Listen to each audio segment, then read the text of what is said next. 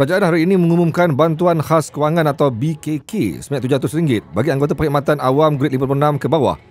Membabitkan 1.3 juta kaki tangan dan RM350 bagi pesara dan veteran kerajaan tidak berpencen.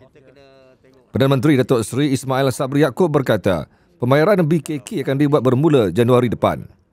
Katanya, bantuan khas kewangan atau BKK tahun 2023 dibayar kepada anggota perkhidmatan awam grade 56 ke bawah berjumlah RM700 dan RM350 bagi pesara kerajaan dan veteran tidak berpencen yang akan diberi pada Januari 2023. Beliau berkata demikian ketika berucap di Majlis Amanat Perdana Perkhidmatan Awam ke-18 di Pusat Konvensyen Antarabangsa Putrajaya atau PICC hari ini.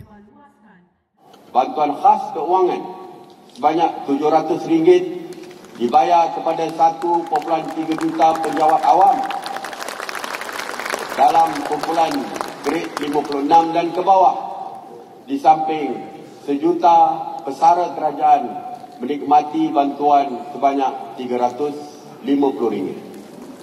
Kesemua melibatkan implikasi keuangan kepada kerajaan berjumlah 1.3 bilion ringgit.